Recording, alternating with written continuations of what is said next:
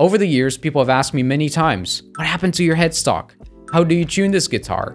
And how is the neck profile on the Strandberg? In this video, I want to tell you all about my Strandberg Boden Prog 7 and answer some of the common questions anyone might have about this frankly strange looking guitar.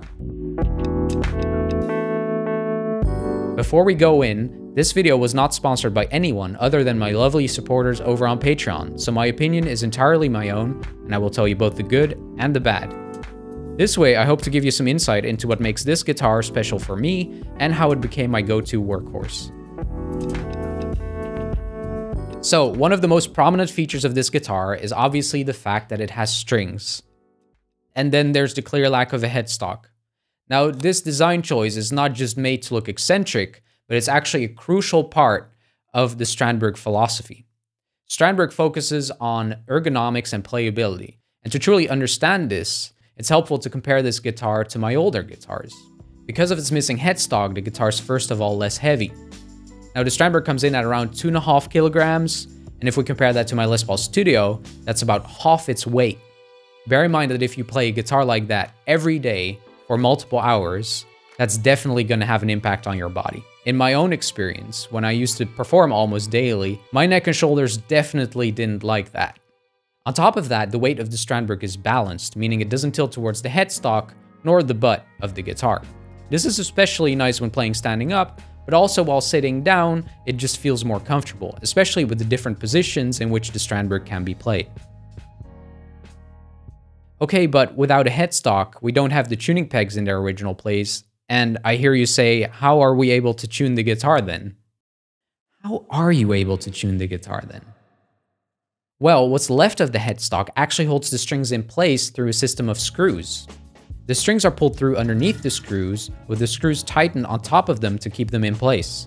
This prevents the strings from slipping out and slapping you in the face mid-performance. The tuning system itself is placed on the bridge, where you have a straightforward turning system, clockwise to tighten, counterclockwise to release.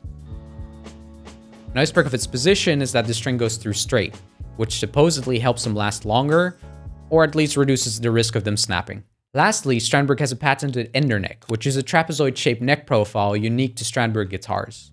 The nice thing about this neck profile is that your thumb quite naturally follows the flat side of the trapezoid.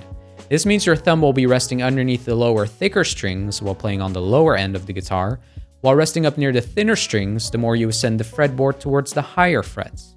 The 7th string was probably the biggest change I had to get used to. Although it offers for a lot of fun new venues to explore, the addition of a 7th string means the neck is a bit thicker.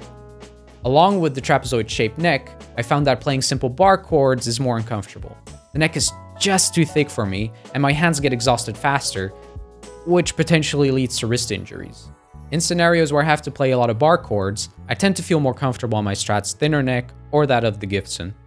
This is really about discovering your own preferences and then using the right tool for the job. In this case, the Strandberg hasn't been ideal. That being said, it's probably near impossible to find a one-size-fits-all guitar for all jobs. For most material, I do gravitate towards using the Strandberg, and that 7-string is really fun to have. Of course, I also have my signature wave pick on the guitar itself. If you've made it through the video this far, be sure to leave a comment to let me know your theory as to why it's on there. Some other features of the Strandberg, like its slanted frets, lead to easier, probably faster playability although I personally haven't found a big difference. The frets aren't slanted enough for me to even really notice them. Then there's also the floating bridge system and the active pickups, which I hadn't had in any of my previous guitars, so I was excited to try them out. These features aren't particularly unique to Strandberg guitars, but I always find it incredibly fun to mess around with the new approaches, and so those were an easy pick. No pun intended. This is, I think, what's so important. Whether you play a Strandberg or any other guitar or instrument, have it be something that inspires you and excites you to play. And all aspects of the instrument matter in this, from its features to its playability and the way it looks. All in all, I really love this guitar and I've been playing it for a good three and a half years. Of course, there's a whole lot more that could be said about it. I'll leave a list with detailed specs in the description for those guitar nerds out there that want to know about the types of wood used and so forth. I hope you got something new out of the video. Do let me know in the comments what your favorite guitar is, as I always love to see a good discussion. I've also opened up new student slots, so if you want me to help you take your music to the next level, reach out through any of my socials. I'll also post a link to my website with more information in the description. Thanks again for watching. I'll see you next time.